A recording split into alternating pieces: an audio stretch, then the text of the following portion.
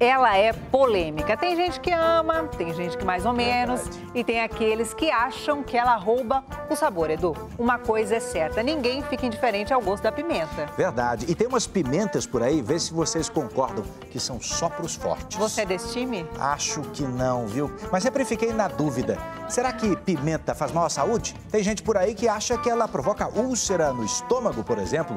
Hora de saber se isso é mito ou é verdade.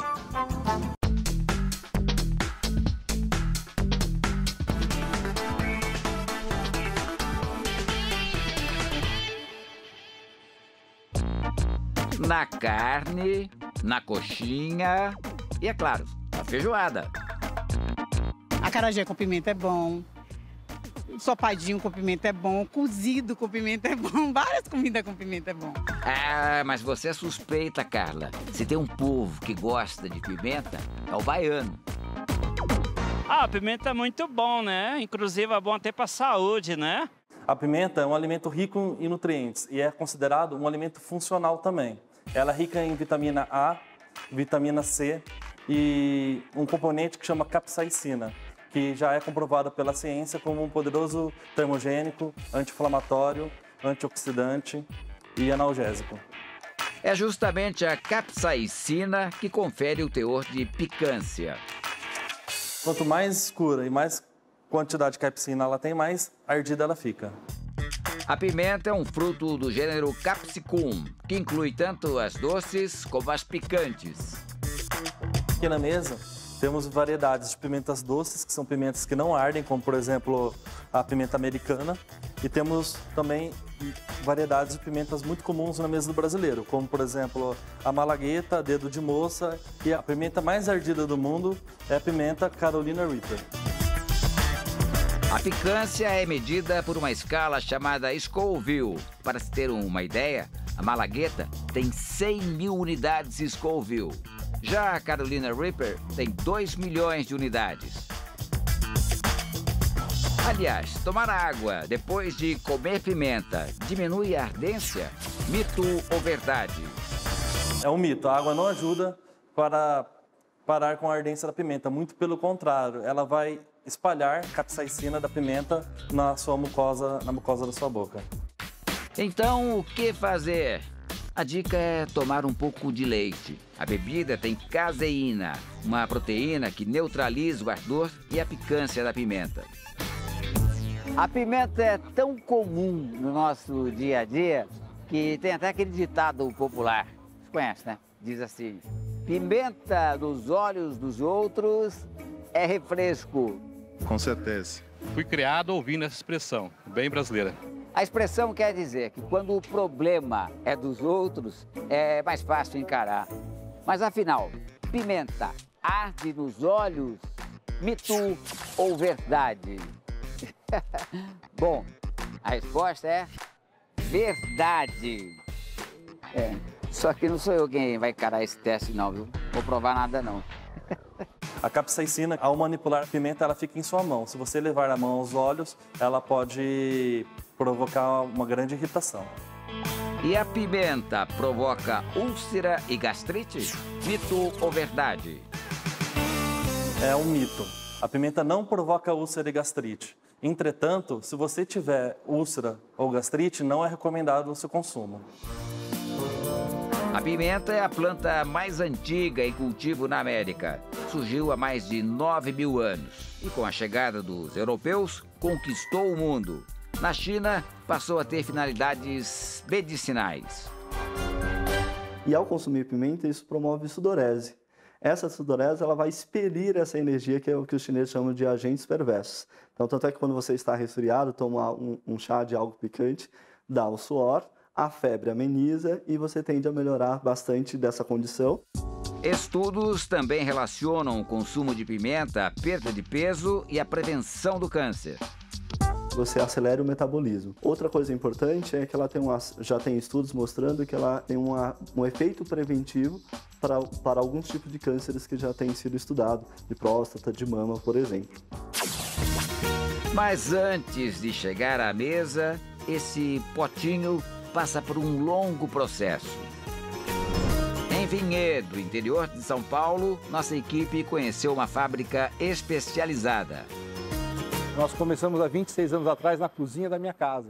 Comprávamos os vidros reciclados, preparava 15 vidros na cozinha de casa, saía para vender na beira da estrada, juntava o lucro, comprávamos mais vidro, produzíamos um pouco mais e de lá para cá, graças a Deus, conseguimos melhorar um pouco mais a estrutura. Hoje são cerca de 3.200 vidros por dia. Gustavo e o irmão Diogo se orgulham de vender itens orgânicos. Desses 12 tipos de pimenta derivamos 60 diferentes produtos. Cada pimentinha é higienizada antes de entrar em uma receita diferente, como molhos ou vinagres aromatizados. E a gente diversificou. Pimenta Biquinho hoje é responsável por 60% do nosso faturamento. Isso hoje é o nosso carro-chefe e é o que o mundo vem atrás.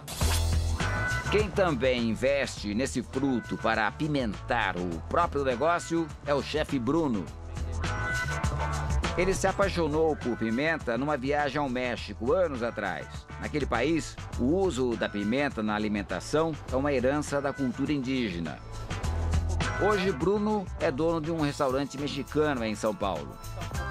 Pimenta é uma questão de paladar. Quanto mais você come, mais você sente o sabor dela. Não tem uma refeição nem no café da manhã. Eu faço pão com queijo, presunto e eu coloco pimenta. Essa paixão que fez o Bruno colocar no cardápio do restaurante uma receita super fácil. A gente vai fazer um jalapeno recheado. É uma pimenta bem típica mexicana. A gente vai fazer um cortezinho aqui no meio dele, tá? Para poder rechear o nosso jalapeno. Eu recomendo vocês a usar luva. Ele recheia com um pouco de mussarela, depois enrola uma fatia de bacon. Presta atenção para a parte que vocês fizeram o corte, para ela ficar bem coberta no bacon, para o queijo não vazar na hora de a gente saltear ele. Tá pronto para fritar. Ele também faz com um abacaxi que fica mais adocicado. Agora a gente vai pegar esses jalapenhos, vai untar um pouquinho uma frigideira e vamos fritar ele uns 4, 5 minutinhos de cada lado. Só um pingo de óleo na frigideira, hein? O bacon solta gordura. Tem um ardor, mas é bem saboroso. O bacon e o queijo ou o abacaxi dá um contraste legal, fica bem bom. Aqui neste jardim, pimenta é o que não falta. Tem sido assim desde que seu Ângelo trouxe uma mudinha lá de Minas Gerais. Aí fui e plantei uma, essa planta no, ali, aí fui, fui cultivando essa pimenta. O vizinho Rafael adora mexer na terra e o cultivo virou um hobby para eles. Quase todas as mudas são de habaneiro vermelha, uma das pimentas mais picantes com origem no Caribe e México. Mas eles querem diversificar. A gente está fazendo um teste com uma pimenta do Amazônia que ele trouxe, também de um amigo. Então a gente está esperando ela crescer para ver como que ela é, para descobrir realmente o nome dela também, para ver se a gente consegue dar sequência aí na, né, nesse trabalho. E por que não aproveitar para tirar um dinheirinho? Por incentivo do amigo, seu Ângelo começou a vender as pimentas. Eu vejo ela bonita assim, é o que me motiva. Um dos principais clientes é justamente o pai do Rafael. A pimenta, eu acho que ela dá um sabor especial no prato. Seu Francisco usa habaneiro para preparar compotas, mas a preferida é a dedo de moça. Ela tem picância e aromas suaves. E é uma das mais famosas do país. A gente vai cortar ela aqui ao meio. É só puxar aqui, olha, ela sai inteirinha. Em seguida, ele coloca tudo na frigideira. E vamos colocar para deixar dar uma refogada. Ela assim ela vai ficar bem saborosa. E pena que a televisão não tem cheiro, não sente o cheiro, porque senão. a mistura vai para um potinho que o seu Ângelo admite. Não dura nem um mês. Mas pode comer pimenta todos os dias? Mito ou verdade? Verdade. Pode-se comer a pimenta todos os dias, desde que numa quantidade não muito exagerada, ela vai trazer muitos benefícios à sua saúde. E agora é só sentar e esperar a feijoada.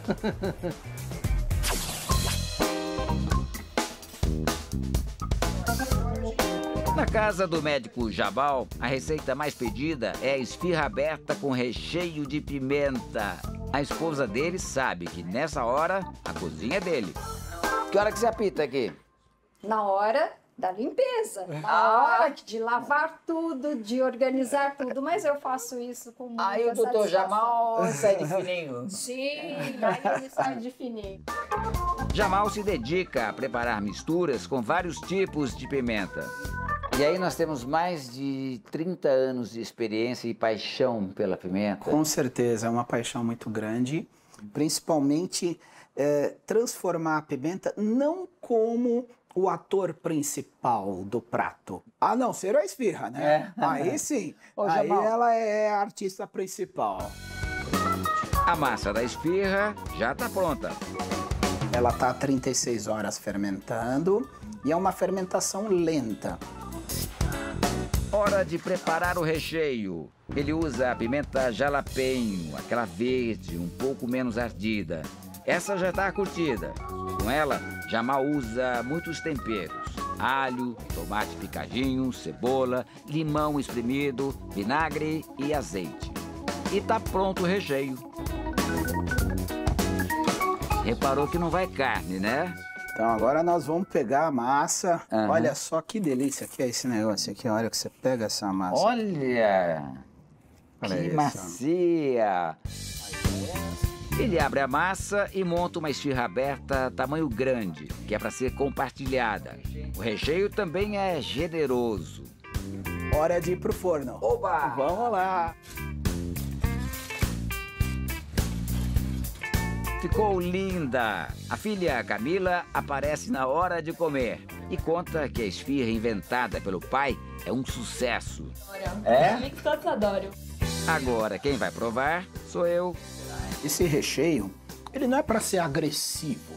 Ele é para ser algo que dê um sabor a mais. Hum, depois, então, é que fica esse gostinho da picância. Aprovadíssima! Tão boa que ninguém resistiu. Estão gostando da reportagem até agora? A gente vai ter que parar um pouquinho, porque a equipe está muito ocupada, viu? Quer saber mais sobre pimentas? r7.com barra Canal Domingo Espetacular. Ah, aproveita e, e se inscreva, tá?